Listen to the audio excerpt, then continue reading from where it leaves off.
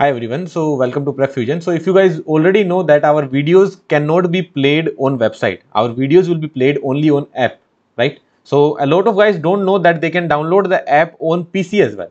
You can download the app on PC as well. From if you want to download it on mobile, then you can directly get it from Google Play.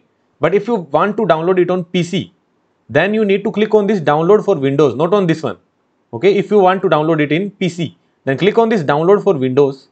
Now it will start downloading okay? It will start downloading in your pc so here you can see it, it has started downloading. So once the download is done what you will do? You will click on this. You will click on this icon. Now it is saying don't run so click on this more info and then click on run anyway.